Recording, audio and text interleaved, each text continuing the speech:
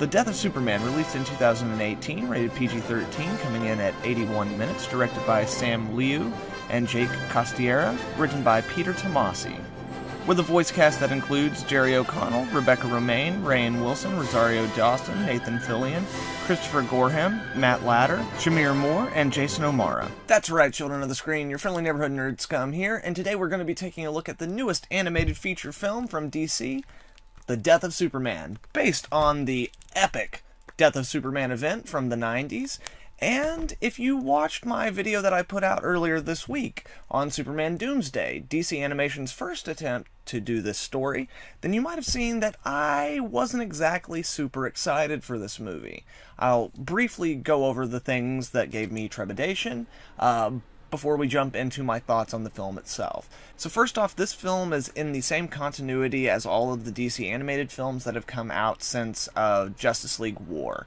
And while I've liked those films a lot more than some other people, they definitely have some big problems. Uh, the animation quality has steadily just gone down. Uh, for a lot of these stories, the writing is not particularly strong. Most of them, their best quality seems to be in the action sequences when it comes to the direction and the animation itself. But even the character models, which are based on New 52 designs, which some of them I really like, some of those designs I don't like, but they never really, even the ones that are cool in New 52, don't really work as well in this animation style. And specifically, Superman's costume, when it's put into a actual like moving image from New 52, is really not great. And more specifically as to why I was worried about this particular movie and not exactly that excited for it, well, this falls into that continuity. However, in all the previous films, Wonder Woman and Superman have been a couple, whereas in the classic story and in the trailer for this movie, we see that Lois and Clark are together. So that's weird. Like, it doesn't feel like they would have had enough time to build up the relationship in a way to make Superman's death meaningful in the same way that it is in the book. Um, Beyond that, there's just a lot of other little things that kind of made us nervous. Obviously, in the original book, uh, Doomsday ends up fighting the Justice League of America, which consists of, like, you know, Booster Gold, Blue Beetle, uh, Guy Gardner, like a bunch of those kind of characters, and in this it's replaced with the Justice League proper, which is not necessarily a bad thing, but was definitely kind of a weird and off putting thing going into it. And again, more than anything else, I think the biggest thing is that, like, I was really interested to see what they did with this when I first heard about it because while I like Superman Doomsday, as I said in that video, it's not a great representation of the source material and getting to see something that was a little bit closer to that, I was really excited for. However, when the trailer came out and I realized it was in this continuity and that all the characters were in these costumes, they took what is kind of like one of the most iconic Superman stories and just like muddied the imagery to the point where like even when they would in the trailer clearly are referencing things from the book it doesn't look nearly as iconic as the book does because it's a not only is it like not the traditional superman it's like not the superman we have anymore. And that's my other issue with like them still doing things in this universe is that like in the comics now we're at least a couple of years removed uh, from those costume designs for the most part. Like with Superman, we're quite a bit past that, like at least five years. But we're still using these costumes, and it's like I don't understand why the characters in there just don't have costume upgrades. Because then again, like not only would they look more like the current characters, they would look more iconic. Like, because at this point, like, New 52 changed everything up, and in Rebirth, we've gone back to a more iconic design. And I really don't know why they're not doing that in these DC animated movies, especially this one, where the iconic imagery is so important. Like, even if they had just started doing it in this film, I don't think anyone would have had a problem with that. It wouldn't have been a big issue. It's like a throwaway line. Right on. So those were my problems that I foresaw with this movie based on my preconceived notions of what it was going to be, which I am very happy to say were extremely wrong. Um, I definitely enjoyed this film, guys. I think this might be one of the best films coming out of DC animation that's like set in this continuity. I really enjoyed it. The film definitely still has some problems. It's not perfect by any stretch of the imagination, but man, did it just blow my expectations out of the frickin' water. As always, we're going to start off by going through the things that I did not like in this film, which usually are far greater and outnumber the things that I liked. However, with this film, I'm going to keep it to three because most of the things that I didn't like were either byproducts of these three main things or kind of fall into that same category. So, number one thing that I don't like. Yep, it's the animation and the character designs. Now, don't get me wrong, as always with these films, the action is pretty cool. And in fact, I would say the action in this one has definitely upped its game since the last couple of movies that they've done. Uh, but in general, just the general style of the animation still looks extremely cheap, and you would think with this being one of DC's more iconic stories that they've animated, they would put a little bit more polish into it. Um, it does look a little bit better than some of the previous movies like Justice League Dark or Batman Harley Quinn, but it still looks fairly cheap, and beyond that, the New 52 character designs really are the thing that hurt this film the most. Because as I said previously, like, this story is iconic. The imagery from it is more iconic than anything because let's be honest here, the main, like this, is mostly just a fight. Like it is a multi issue lead up to a fight and then a slugfest. There's not actually that much story there. It's more about the visuals and like the visceral nature of it okay? So we lose a lot of the kind of iconic visuals because of these designs, and even beyond the things that are just like iconic imagery, a lot of the other things just it doesn't work that well. Like specifically, I've always been a big fan of the way that Doomsday looks when he first like a, busts out, where he's like in the green and he's got one arm behind his back. I love it. He's got one arm behind his back and he's still just killing everything he comes in contact with. It really like pushes forward the idea of him being a prisoner with this whole suit, and it looks really cool. And in this, they have like a new 52 spin on it, and it just looks bland and boring and stupid. Uh, beyond that, like again, some of the characters look fine. Like Batman is kind of well, yeah, he looks like Batman. Flash is fine. Green Lantern still looks pretty cool, but in a lot of ways, the visuals and the animation style and the character design do distract from the monumental kind of iconography that this movie should encapsulate and the power that comes along with those visuals. There's a reason why iconic visuals stick in the public subconscious as long as they do. And while this definitely pays tribute to a lot of those visuals, like the actual impact of it is lost because of the visual representation that we're seeing in this movie. Number two, Funeral for a Friend. Now, again, I don't expect this movie to do everything that they did in the comics, because as I've already said, the main Death of Superman book is more or less just a big punch fest. For me, all the things that really make that event and that whole story worthwhile are the things that come out of Superman's death through the Funeral for a Friend story arc, you know, kind of the different tie ins they did and all that kind of stuff, and even the stuff that followed it. It's seeing the world reacting to Superman's death, seeing them try to fill the void those are all the things that I really enjoy, but specifically, I was hoping for the iconic image of the Justice League carrying Superman's casket. And we didn't get that. Instead, we just got them kind of sitting idly by. And I think that that's just not cool. Um, there's a lot of things they did dealing with the death of Superman in this movie that do really work. Like, it's some of the best stuff in the movie, but I feel like it could have been really pushed to the next level if they had just incorporated a few more of those more iconic moments or beats from the actual comic book story. Number three, Lex Luthor. You think it might kill Superman? It would save me a lot of trouble. Alright, guys. So, there's been a lot of different interpretations of Lex Luthor. Some of them I've liked more than others. I'm not fond of this one.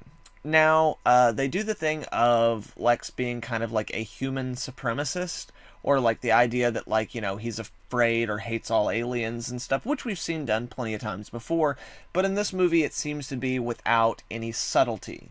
Uh, there are layers, a few layers of subtlety in the writing of the character, and there's a lot of things that I do like of what they've done with this character. For example, there's a great little moment with the character where we see him in like the red beard and a long red wig, uh, reminiscent of the way the character looked during the Death of Superman uh, story arc. And it turns out that it's like just a ruse. Like some of that stuff's fine. The real problem I have is Rainn Wilson as Lex Luthor. Now, like, I like Rainn Wilson. He's a good actor. I really enjoy him. But at no point in this movie did I buy into any part of his delivery of Lex Luthor.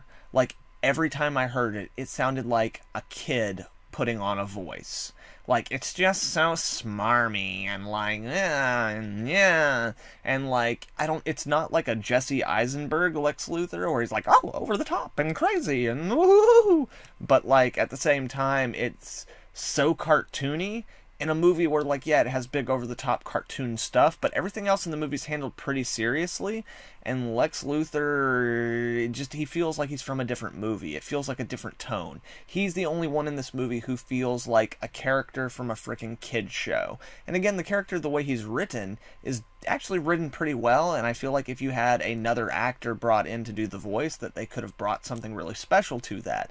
Uh, a good example being like I love James Marsters in Superman Doomsday as Lex Luthor even though it's a totally different weird take on that character, but he brings something special to it that allows it to work and flow.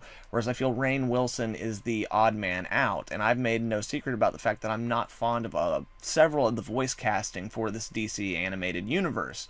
Uh, but I think out of all the ones I've heard, he's one of the most out of place. But like your next like kid friendly show, make him Lex Luthor over there, and he's fine, you know. But like in this, no, it didn't work for me.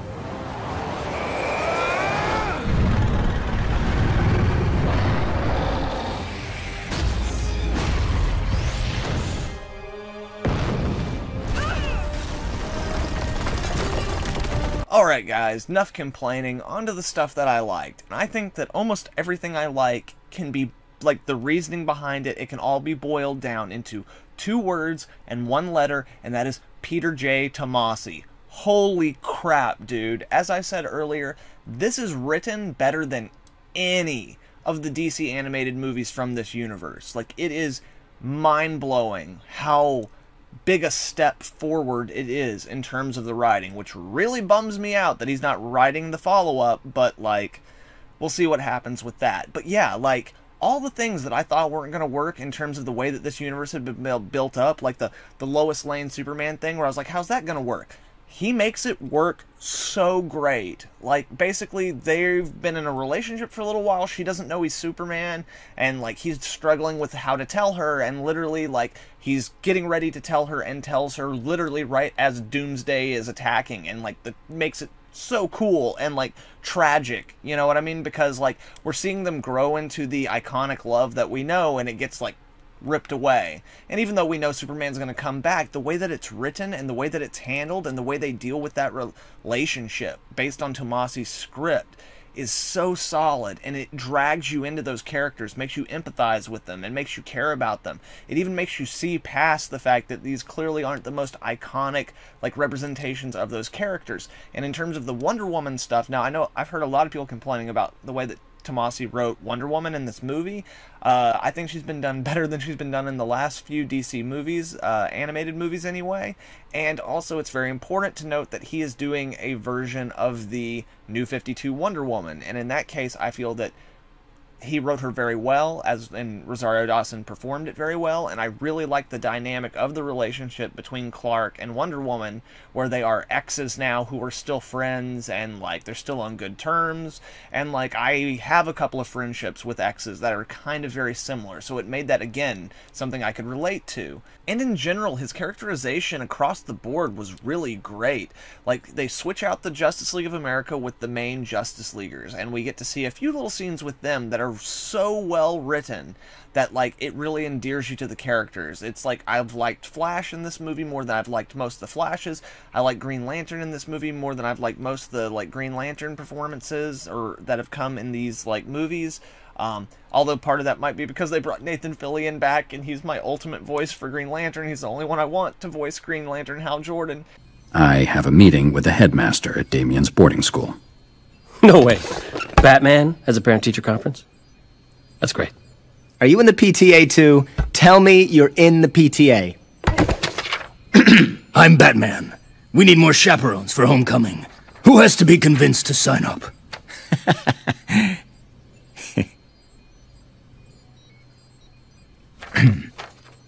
I'm just joking. I think that's great. Is he still glaring at me?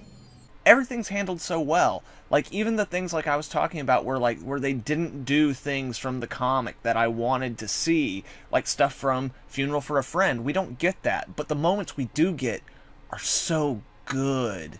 Like frickin' the Kents showing up to Superman's funeral and having to stand back with the masses and having like them getting too close to the line and having a cop tell them that they can't come any closer. He was a friend. Really sorry, sir. I need you to step back a bit. She gonna be okay? Yes, officer. It's just a big loss for everyone. Yeah. Superman was kind of like family, wasn't he? So well done. It's so good. And then there's this absolutely perfect moment in context of all of these movies and where the way the characters have developed where like it's just Bruce Wayne looking out the window like looking stern as usual and Damian standing by him and for a moment Damian looks up at his dad and then leans over and puts his arm around him. And it's just like we've seen a lot of development with those characters and like the way that Tomasi sets up a few things earlier on it reminds us of that relationship and this moment really pays off. Basically what I'm saying is almost everything like he's the perf Tomasi Tomasi Peter J. Tomasi. He recently wrote Super Sons and Superman for Rebirth, which is some of my favorite Superman related stuff. He's just the perfect person for them to have got to do this. I really wish he was writing the follow up, and almost every moment that I really love out of this movie can clearly be traced back to his interpretation of taking like this universe that they've created and then taking the original story and figuring out a way to mesh them together to kind of create the perfect hybrid, honestly. Beyond the stuff that I'm uh, attributing directly to Peter J. Tomasi, there's also a lot of other cool stuff in this movie. A uh, good example is like we get a much expanded roster of like known characters. It's not that big, but it's a few of them, and it really helps populate this world a little bit more. So we get the introduction of Hawkman, which I know some people have been kind of bummed out that it wasn't Hawk Girl. I get it. I love Hawk Girl. But ever since Dark Nights Metal, the DC has been putting a big push on Hawkman, and he's currently got a new book that is out right now. So I'm sure that that's kind of part of it, hoping that people will see him and take a bigger interest in him in kind of the comics. Uh, we also got to see Martian Manhunter, which was really cool.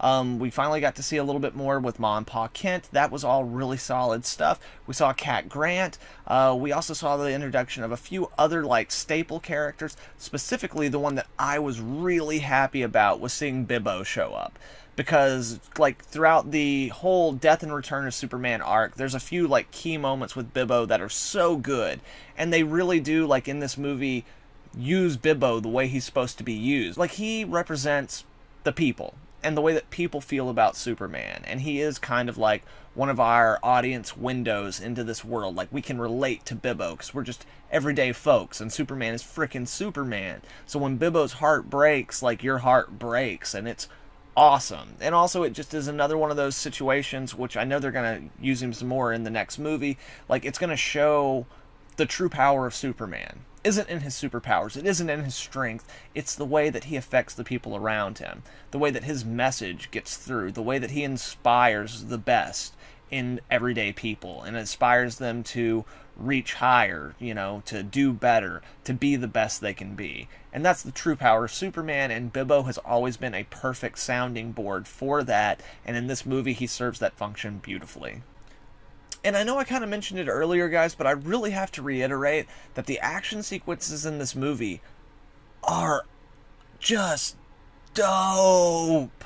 Man, some of the best action I've seen from one of these movies. It is brutal. Like, I mean, yeah, there's a lot of blood, but it doesn't get super gory. But, like, they make no qualms about showing Doomsday causing massive damage, killing tons of people. It's not like we ever see a kid die or anything like that but like man he causes massive damage kills tons of people and then like once the heroes show up the fights are really solid. Uh, the only character who i feel kind of gets lost in the fray in terms of the fighting is batman but like really what's batman gonna do? And he still made it better than the freaking blue beetle did in the actual comic book. Um, and also i think that like it works really well because batman while he's human and has no powers we do know him to be one of the most determined characters. So when we see batman at a point where like he's not able to carry on and he's not pushing himself to carry on like he normally would, that definitely sells the gravity of the moment.